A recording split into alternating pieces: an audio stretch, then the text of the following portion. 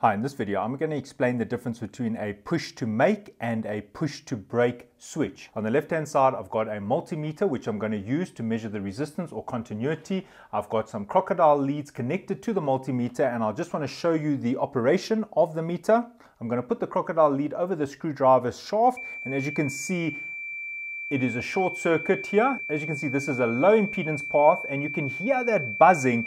That is the continuity buzzer from this meter. It's telling me the ohms is 1.34 ohms, very low ohms. And there is the buzzer making that noise telling me it's a short circuit. When I remove this, the sound goes away. When I put it back, the sound starts up again. So that tells me that it's a short circuit or a closed circuit. So if I take a regular single pole, single throw switch and I put the one crocodile lead there and I'll put the other one over here.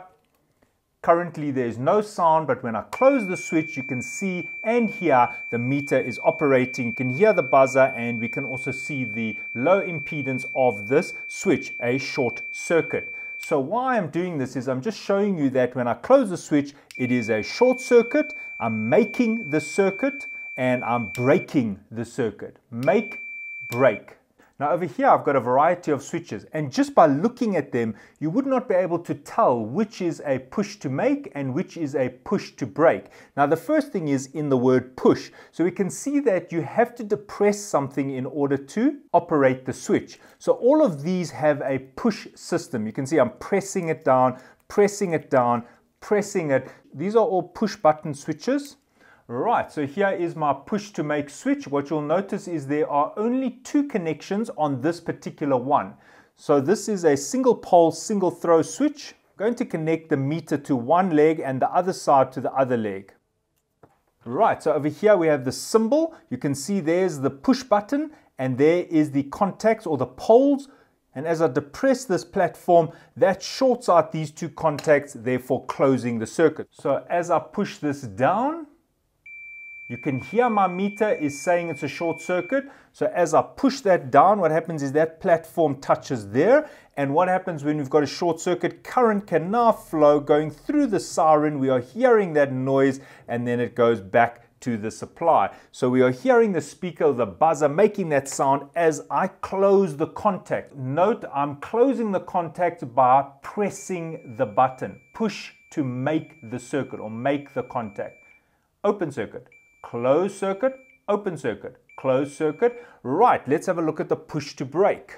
Right, now I have the meter here already and you can see it says 1.45 ohms and you should be hearing that buzzing. Why? Because the switch in its resting position is already a closed circuit. So in order for me to open the circuit, I need to depress the switch. See the meter is now showing an open circuit. Closed circuit, open. Closed, open. So in this case, you can see the symbol. It's a closed circuit when the switch is at rest. The switch is at rest. Nobody's touching the switch. It is a closed circuit. Current can flow, and that is why we are hearing that siren or that buzzer making that sound. Now, when I depress the switch, I'm breaking the circuit. I'm actually pushing that platform down and now I am disconnecting these two poles which means current can no longer flow and therefore this is now an open circuit. Closed circuit, open. Closed, open. Right, now just some comments. Are all switches that look like this push to make and push to break? No. For example, this is actually a latching switch. Look at this. Closed circuit, open circuit. Closed, open.